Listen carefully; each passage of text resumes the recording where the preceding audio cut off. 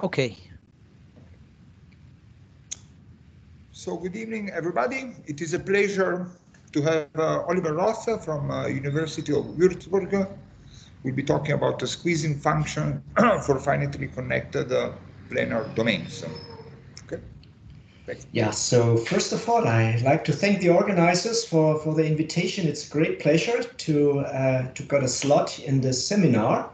So I'm uh, talking about a joint work with uh, Pavel, who is among us today. And it's about the, the squeezing function, but for plane domains uh, and concentrating on the finitely connected case. Okay, so the, the talk is uh, consists of three parts. So in the beginning, I'm just uh, recalling some basic background and a little bit of the history of the squeezing idea and the, the definition of the squeezing function. Um, in the second part, uh, I'm uh, switching to the case of plane domains, in particular to the case of doubly connected domains, uh, because there's a very recent uh, paper out there by Ng, Tang, and Tsai uh, that just came out some uh, months ago in Mathematische Annalen, where they found the, the squeezing function for doubly connected domains using a very sophisticated machinery uh, which is based on the Loewner differential equation. So uh, the, the, first goal of the of the talk is somehow to to show you a, a, a different proof of this result, which is based on uh, just some, some basic potential theory. And uh, the, the, the, proof gives a little bit more information than uh, the, the result of Ng, Tang, and Tsai uh, because it covers all cases of equality also. And then in in the final part of the talk, I'm uh, going to, to tell you a little bit about the problem for domains of connectivity greater than two. And in this case, uh, Ng, Tang, and Tsai, they came up with a, a, conjecture in their paper that would cover all also these cases. But as we shall see, uh, that uh, it is possible to come up with a, with a counterexample to their conjecture, which means that uh, somehow the natural conjecture for the squeezing function for domains of connectivity greater than 2 is unfortunately not true. And it seems even difficult to come up with a good conjecture in this case. But I hope uh, uh we will see this in the, in the course of the talk. Okay, so let's start at the beginning. So the, the squeezing idea goes back to some uh, celebrated work of Liu, Sun, and Yao uh, in uh, 2004. And uh, the origin of this uh, work is, again, some one-dimensional problem. Um, so they were interested in the complex geometry of Teichmuller spaces of a compact Riemann surface. And specifically, they were interested in comparing the Carathéodory, Kobayashi, and Bergman metrics there and the main goal, uh, the main tool, I'm sorry, is a celebrated result of Lipman Bers from the 1960s, the so-called Bers embedding theorem. Uh, and this result, uh, roughly speak, says the following. So uh, call this a Teichmuller space just omega for uh, simplicity. And uh, this space has the so-called uniform squeezing property if this condition that you can see here holds. So the condition says that there are some constants a and b positive, so that if you uh, take any point at p in the Teichmuller space omega, you find an embedding of this uh, space into a Cn that sends the point p to the origin. And in such a way that the image domain of this embedding is somehow squeezed between two Euclidean balls about the origin. The outer ball with radius b and the inner ball with radius a. And the important point here is that those constants a and b do not depend on the choice of this base point p inside the, the Teichmuller space. Okay, and in this way, of course, uh, you can think about this uh, Teichmuller space just as a, a domain uh, in some Cn. Then this embedding gets holomorphic. And then you can speak about uniformly squeezing domains just as domains in Cn that have exactly this property here, right? So uh, Liu, Sun, and Yao, they somehow isolated this uh, uniform squeezing property, and then they proved the following very nice result uh, in particular. So they showed that if you have a domain in Cn which is bounded and uniformly squeezing, then in fact those three uh, canonical metrics uh, on this domain, Carathéodory, Kobayashi, and Bergman are equivalent. So it's a very, very nice property of those domains.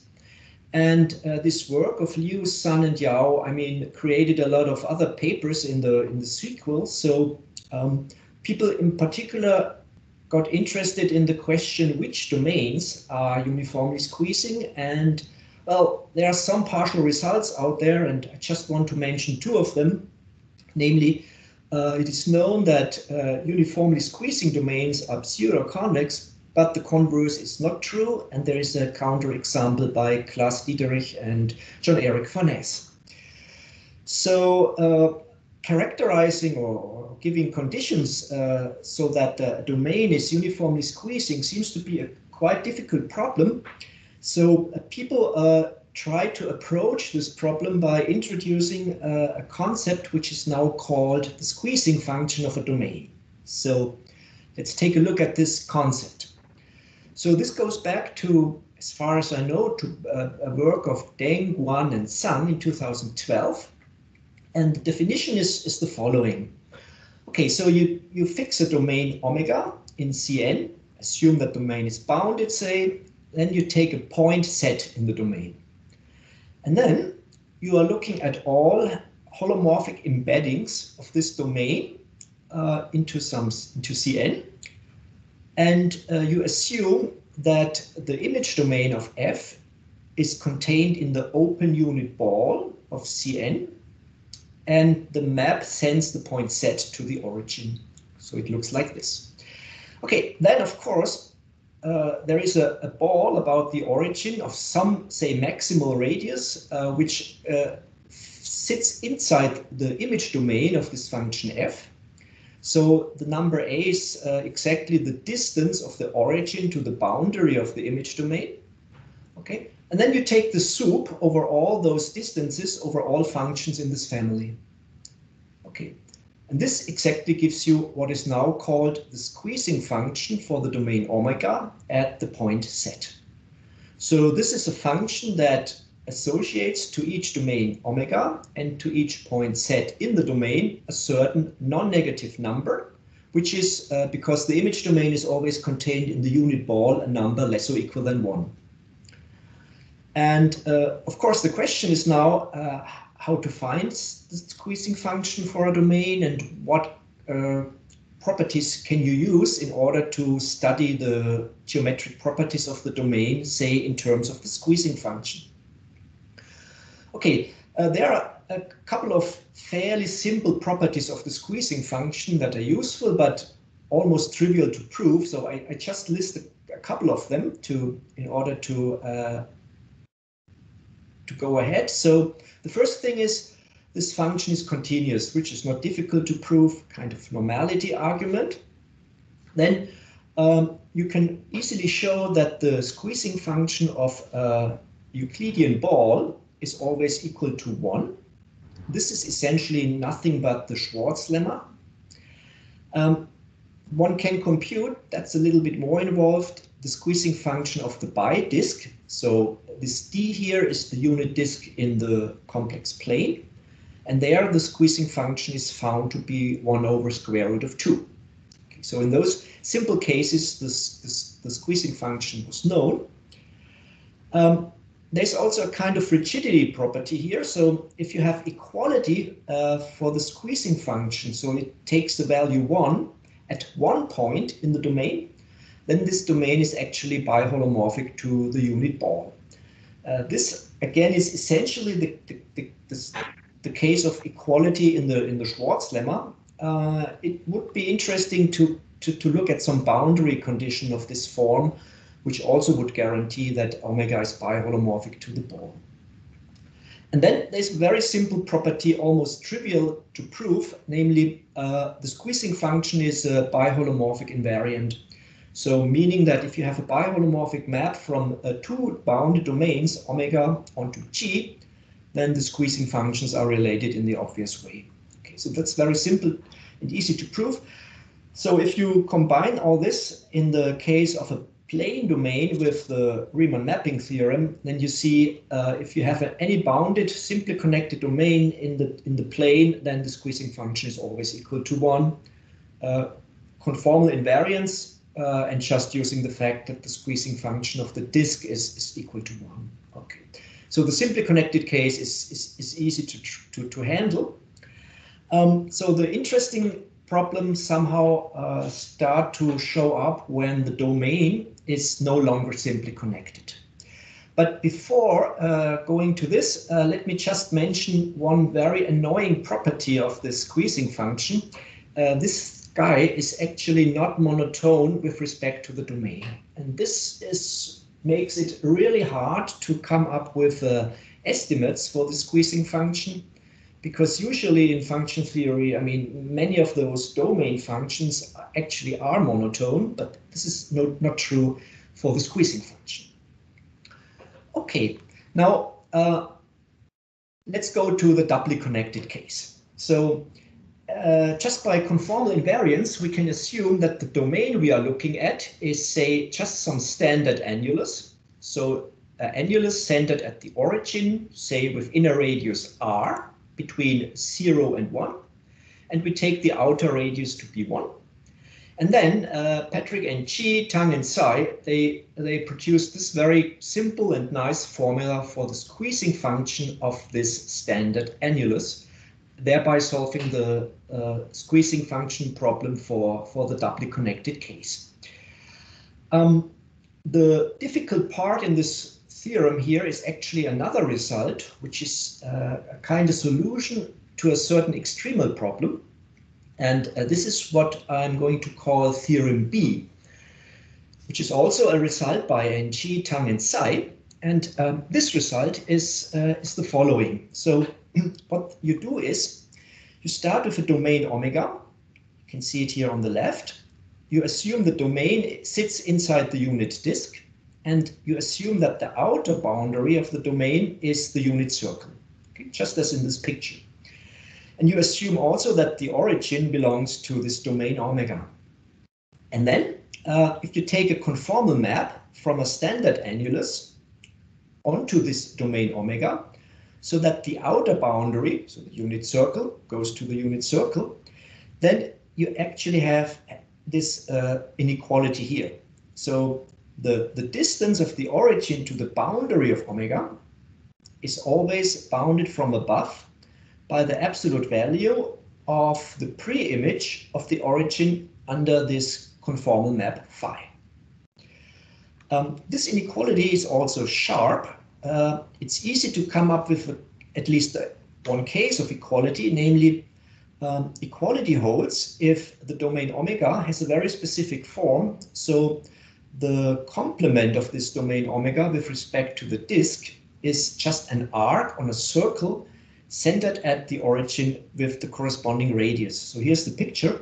So this domain here is somehow the extremal domain in the problem of uh, estimating the distance of the boundary from the origin uh, for all domains satisfying the conditions of this theorem B. Okay, so uh, this is somehow the, the basic result they, they proved. Um, so the result is shown here again. So um, maybe just let me uh, indicate, uh, assuming theorem B, how uh, you can prove theorem A now. This is a fairly simple, but somehow indicates the, the role of this uh, theorem B in the squeezing function problem, uh, I think quite nicely. So, okay, so we assume a theorem B and we want to somehow find uh, the squeezing function for the for this standard annulus. Okay, by definition, we start with a holomorphic injective map from this standard annulus into the unit disk that sends, say, this given point set, say this is the point here on the right, to the origin. Okay, uh, we call the image domain uh, just omega of this conformal map, And then just recall, uh, squeezing function means we have somehow to maximize uh, the distance of the boundary of the domain omega uh, to the origin. So we have to make the domain inside the disk as large as possible. So uh, it's not difficult to, to see that just Riemann mapping theorem and the Schwarz lemma, that in this case, this the conformal map that somehow realizes this supremum here either has to map the outer boundary, the unit circle, onto the unit circle, or it has to map the inner boundary of the annulus onto the unit circle. Okay. So in the first case, unit circle goes to the unit circle. We are just in the situation of theorem B, so we can apply it. But in our case, the inverse of the origin under phi is just the point set. So this gives us this estimate in the first case. In the second case, if the inner boundary goes to the unit circle, uh, we can just uh, use a reflection. And this gives us the other uh, inequality, uh, so that the distance of the origin to the boundary of omega is less or equal than uh, r over the absolute value of z. So this distance is less or equal than the maximum of those two quantities, with which is already essentially the statement of the uh, of theorem A, which says that you actually have equality here. So you just have to write down a specific domain where you do have equality, which is not too difficult to do. So this is somehow uh, the proof how theorem B implies theorem A. Okay, so the important thing now is how to prove theorem B. So how to uh, find among all domains the, that one that maximizes the, the, the, the distance of the origin to the boundary. Well, the uh, conjectured extremal configuration um, is uh, generated by this conformal map psi, which always exists. So there is always a conformal map from the standard annulus onto a circular slit disk, mapping the point Z to the origin and the outer boundary to the outer boundary. That's a standard result in conformal mapping theory. And this map psi, so this map on the right, is actually unique up to a rotation uh, about the origin. Okay, and then to prove theorem B, uh, Ng, Tang, and Tsai proceeded in two steps. So they proved in a first step that the distance of the domain on the left, so an, a generic domain omega with these properties, uh, the distance of the boundary to the origin is always less or equal than the corresponding distance of this circular slit disk here on the right. Okay. And then in a second step, they computed for this circular slit disk just this distance uh, in terms of this conformal mapping and combining these two steps immediately gives uh, the proof of this theorem B. So there's the splitting in these two steps. And actually the second step is fairly easy to handle. There, there are a couple of approaches possible. So there is a, a paper by Reich and where this result is already there. Uh, and Chi, Tang, and Tsai, they used the Schottky-Klein prime function, which gives you a semi-explicit form, explicit formula for this specific conformal map psi to uh, prove uh, this condition too. Um, but as we shall see in a second, uh, one can also use potential theory to prove the same the same result here. So the difficult part in the in the proof of uh, chi Tang, and Tsai is actually step one, showing uh, this inequality. So uh, showing that uh, the circular slit disk is the extremal domain uh, in this in this problem.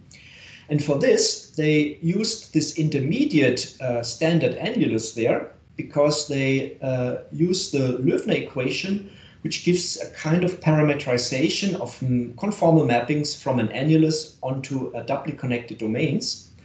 And with this machinery, they were able to, to prove that this inequality here in step one actually holds. Okay, so let me just indicate that one can prove this inequality one uh, now also by some basic uh, potential theory uh, approach. But before uh, telling you the proof of this theorem one now. Um, so I briefly go back to theorem B. So theorem one is exactly the theorem B with an infinitesimal improvement, namely uh, actually it identifying all cases of equality here in this estimate. Uh, except of that, theorem one is essentially the result of NG, uh, Tang and Tsai. Okay.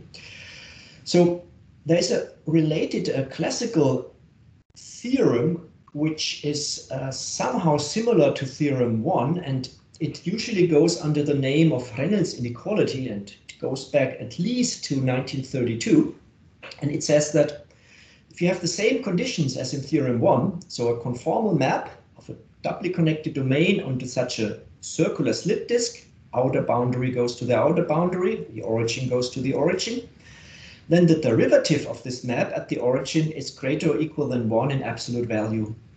So this means somehow that the infinitesimal uh, distortion of this map at G at the origin is at least uh, at least one. So uh, the map is at the origin infinitesimally uh, length non-decreasing.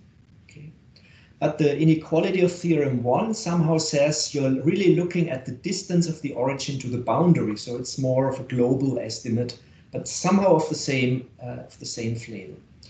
I'm I mention that because um, Reynolds inequality actually is true for any finitely connected domain.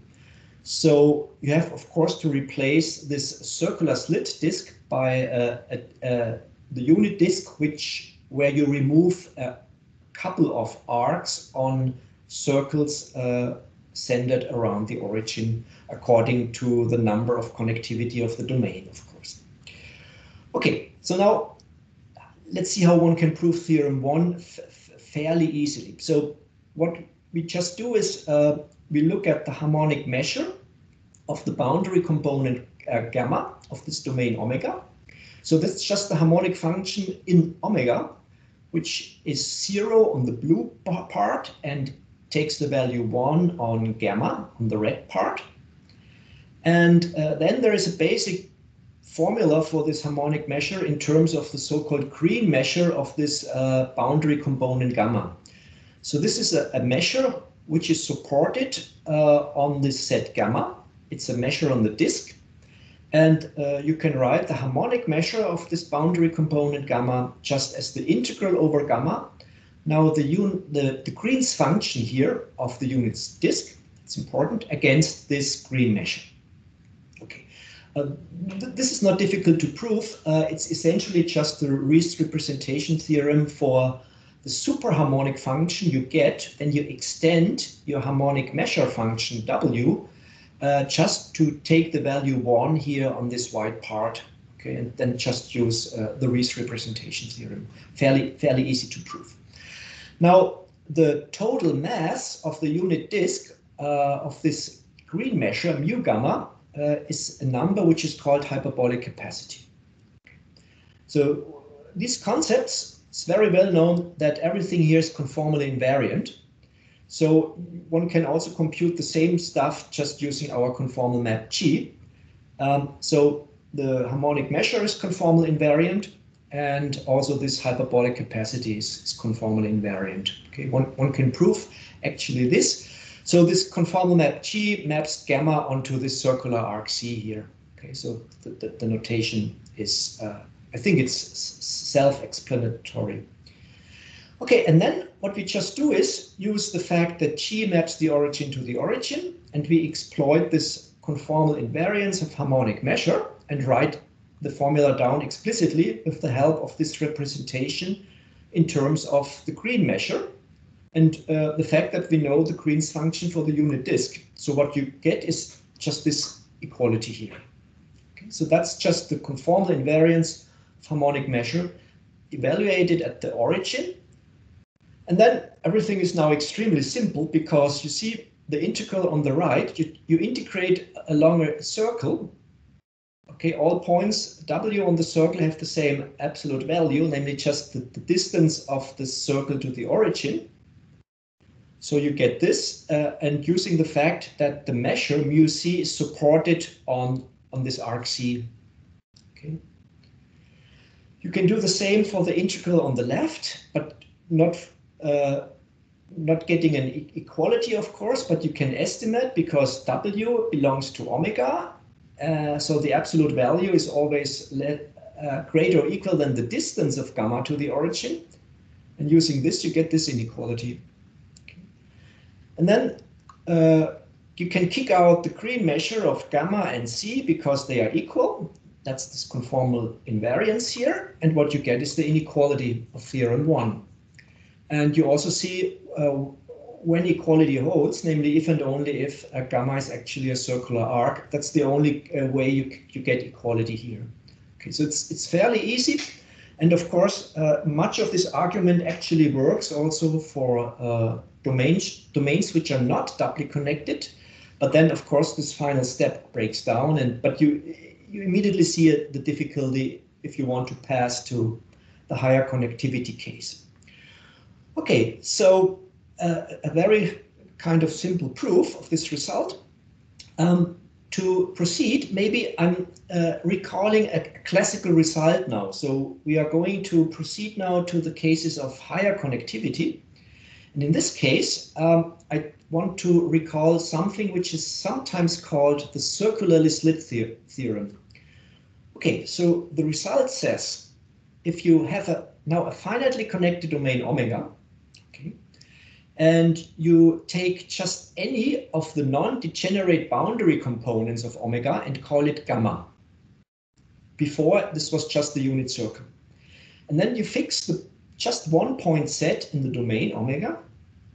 And then you look at essentially the same family of functions we have been looking at before. So you look at all holomorphic and injective functions from this domain onto the, uh, sorry, into the unit disk mapping the specific point set to the origin and mapping this boundary component gamma onto the unit circle. Okay. And then if you take any function g in this family, then the following two conditions are equivalent. So that's classical fact. So G maps the domain omega onto a circularly slit disk, so onto this very nice canonical domain if and only if the function g maximizes the derivative at the specific point set in absolute value among all functions in the family. Everybody knows this in the case of a simply connected domain because this is just the standard proof of the Riemann mapping theorem in this case. But the result is actually true for any finitely connected domain, and it's a very old result going back to Koebe, I guess, in the 1903 or so. But uh, if we now use what, uh, what we have seen before, if the domain is either simply or doubly connected, then one can add uh, a third condition here, namely the function g maps the domain onto a circular slit disk if and only if uh, it maximizes the distance of the origin to the boundary of the image domain. That's essentially the result we have proven before. So one can add this condition C in the special cases simply or doubly connected domain to this list of equivalent conditions. And now there is an unavoidable question, uh, if, if, do we really need simply or doubly connected also in this condition C? As we shall see now, uh, the answer is uh, yes, we need it. So this condition C is no longer equivalent to B and A in all or at least in domains which are not simply or doubly connected. So one can produce uh, an, an, example of a triply connected domain where this condition is no longer equivalent. And uh, the construction somehow clearly shows that uh, it will also work in domains of higher connectivity. Okay, so this somehow breaks down. Okay, um, I was uh, I'm, I'm mentioning this question because if the answer to this question would have been yes, then this would have given a proof of a conjecture that has been made by Ng, Tang, and Tsai in their paper. So here's the conjecture they, they formulated in their in their paper where they uh, produced the uh, squeezing function for doubly connected domains. So the conjecture is kind of natural. so you start with a finitely connected bounded domain omega in the plane. See the picture here. Um, and you denote the non-degenerate boundary components, say by gamma 1 up to gamma n. So here you see a triply connected domain omega with three distinguished boundary components. And then you pick a point set in the domain, that's the green point here.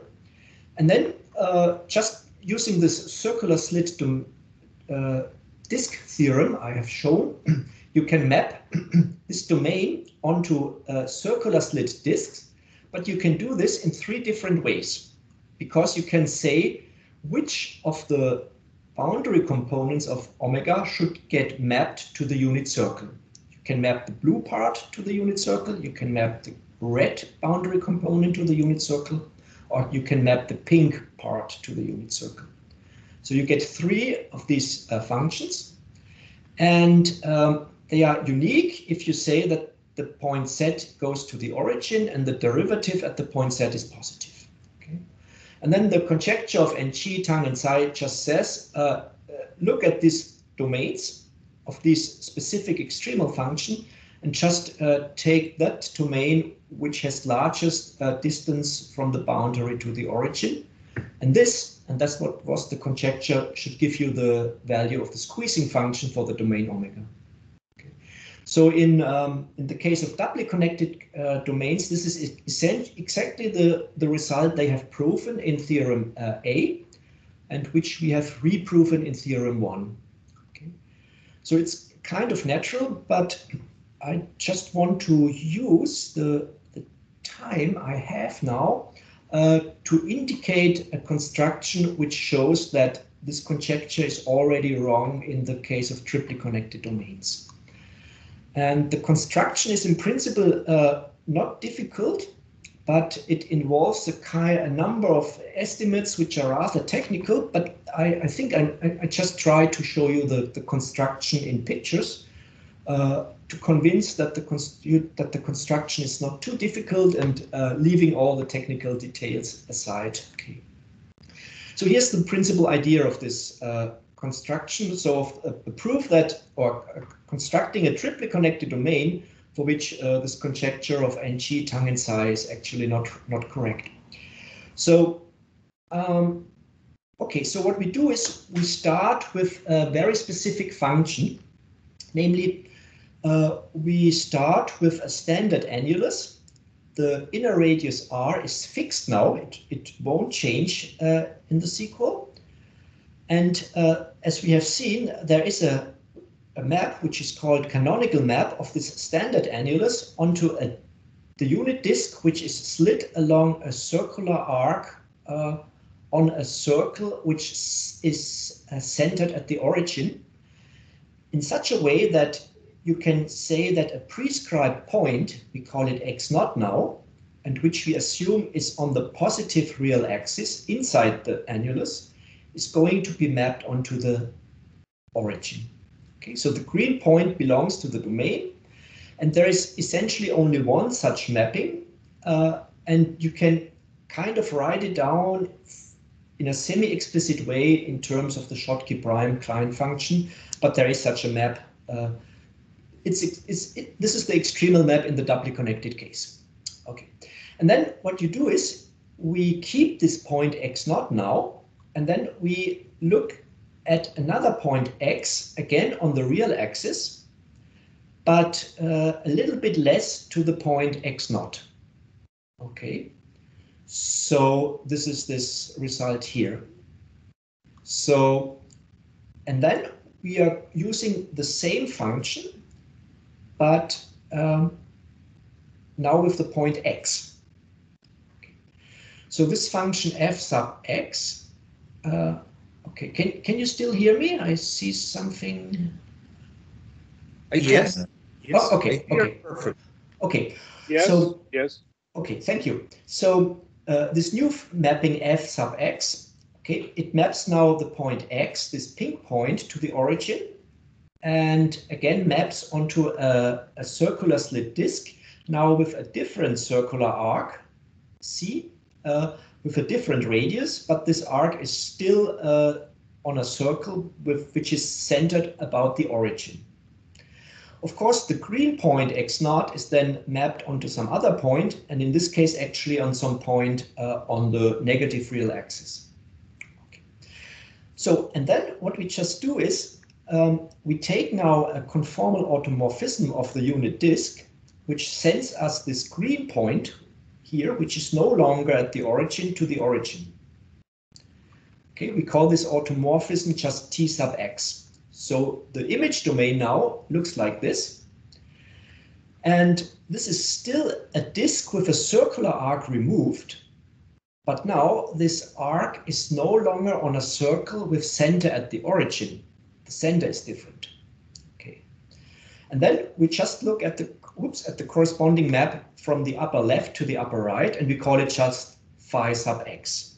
Okay, so x naught is fixed, the radius r is fixed, so the only variable that is uh, still there is the choice of our point x here. And of course, if you move x to uh, to the right, to the getting to the point x naught, then phi sub x at, in the limit will tend just to uh, the identity map.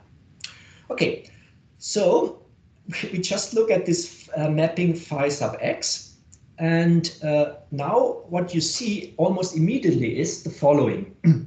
so uh, because of uh, the result for the doubly connected case, we know that the distance of this red circular arc here on in the picture in the upper left corner is just uh, x naught. Okay, so the point x naught is, is just here on this red uh, red circle, part of this red circle.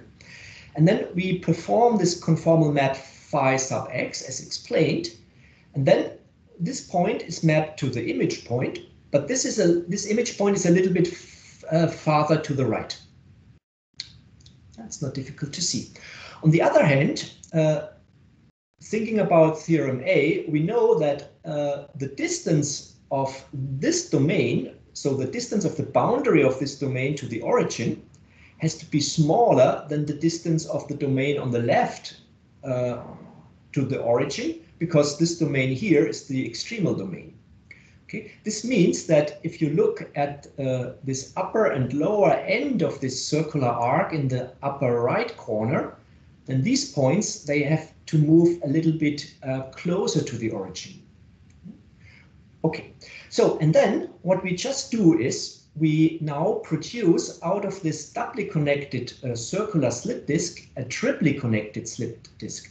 So we just uh, smuggle in here another very small circular arc. Uh, the point here of this pink uh, arc, you should think about this arc as being very close to the red part and to have a very small length.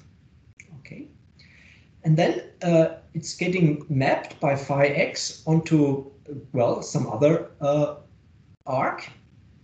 And then what you get is on the right-hand side, a triply connected domain. So it's the unit disk where you remove this red circular arc, which is not centered at the origin, and this pink image domain of this uh, function phi sub x.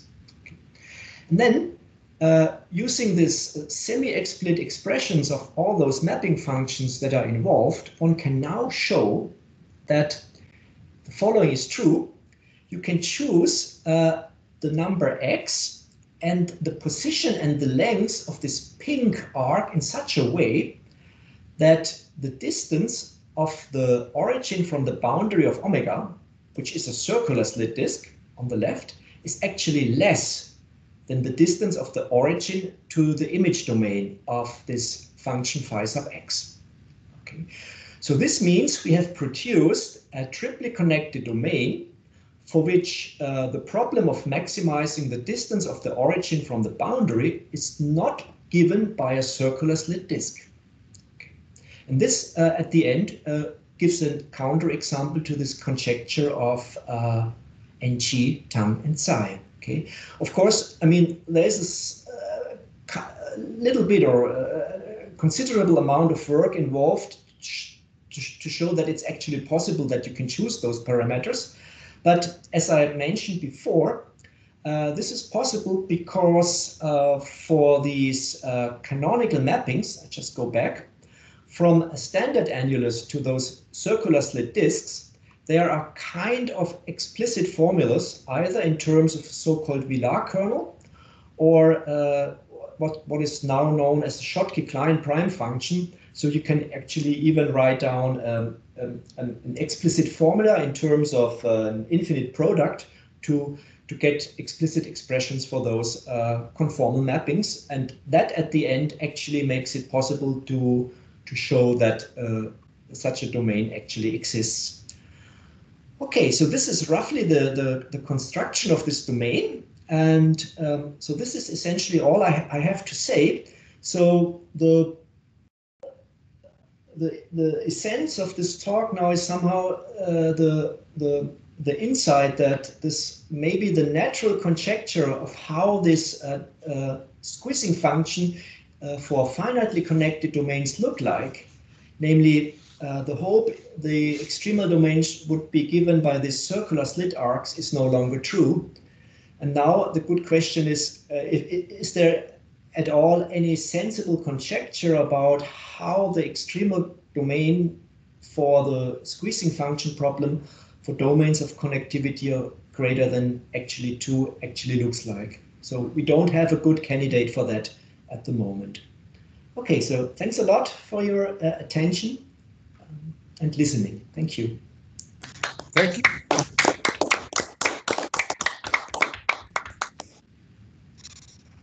Other uh, questions? I saw a raised, I saw a hand. Uh, was it? Someone raised the, the hand? No.